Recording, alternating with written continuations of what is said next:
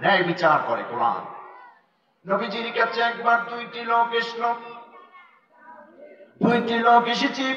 আল্লাহ নবীর দরবারে একটি বিচার নিয়ে, একটি মামলা নিয়ে।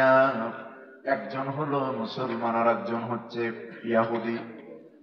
এই দুইজন ব্যক্তি নবীর দরবারে চলে এসেছেন। আল্লাহর আল্লাহর হাবিবের কাছে কোনো একটি মামলা নিয়ে, কোনো একটি বিবাদ নিয়ে, সালিশি নিয়ে। নবীজি দুইজনের বর্ণনা শুনলেন। ইহুদির বর্ণনাও শুনলেন, মুসলমান ওই ব্যক্তির বর্ণনাও শুনলেন। শোনার পরে আল্লাহ নবী কোরআন দিয়া ফয়সালা করলেন, কোরআন দিয়ে জাজমেন্ট করলেন, হুজুর বিচার করলেন, রায় দিলেন।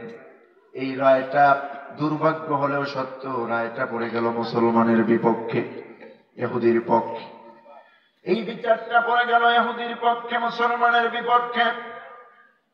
বিচার যখন নবীজি করে দিলেন ওই মুসলমান নামের মুনাফিক ব্যক্তি চিন্তা করল হারে আমি তো মুসলমান, আমি কোরআন মানি, আমি নামাজ পড়ি, নবীর সঙ্গে আমি চলি, একই সঙ্গে জামাতে নামাজ পড়ি।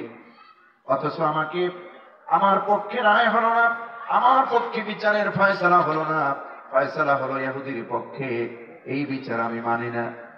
একজন মুসলমান হয়ে কোরআনের বিচারটা মানল না। আমার বন্ধুগণ লালপুরের ভাইয়েরা, নাটোরের ভাইয়েরা জবান খুলে বলুন তো, যেই ব্যক্তি মুসলমান পরিচয় দিয়া কোরআনের বিচার মানে না, সে কি আর মুসলমান থাকতে পারে নাকি? একটু জোরে আওয়াজ করে বলুন, সে কি মুসলমান থাকতে পারে নাকি? ওই মুসলমান নামের ওই মুনাফিক ব্যক্তি নিজেই মানতে পারলেন না, চিন্তা করলেন, আমি মুসলমান, আমি চান্দা দেই, আমি নামাজ পড়ি, আমি হুজুরের সঙ্গে থাকি, অথচ রায়টা আমার পক্ষে হলো না, এই বিচার আমি মানি না। মুসলমান নামের ওই মুনাফিক ব্যক্তি নবীর দরবার থেকে বেরিয়ে পড়ল। চিন্তা করল, এই বিচারের ছানি করার জন্য কার কাছে যাওয়া যায়?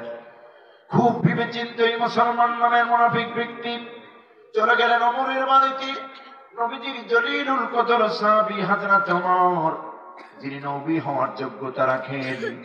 সে অমরের বাড়িতে চলে গেলেন ওই মুসলমান নামের মুনাফিক। কি বলেন? একদম জায়গা মতো গেছে না? একদম জায়গা মতো। যদি আবু বকর রাদিয়াল্লাহু তাআলা আনহুর কাছেও যেতেন, এমন একটা কথা ছিল, নরম মেজাজের মানুষ, ঠান্ডা ঠান্ডা মেজাজের মানুষ, দিল নরমের মানুষ, মায়াবী মানুষ, ভদ্র মানুষ আবু বকর। একটু বুঝাই শুনাই দিতেন, দেখো ভাই, তুমি মুসলমান পরিচয় দেওয়ার পর, আল্লাহ রসুল কোরআন দিয়ে বিচার ফয়সালা করছেন, এটা তুমি মানো না, এটা হতে পারে না, তাহলে আর মুসলমানিত্ব থাকে না। বুঝাই দিতেন। কিন্তু গিয়েছেন কার কাছে? অমর রদি আল্লাহ তালার কাছে। যেখানে ইসলামের গরম সেখানে কে? অমর। যে অমরের ভিতরে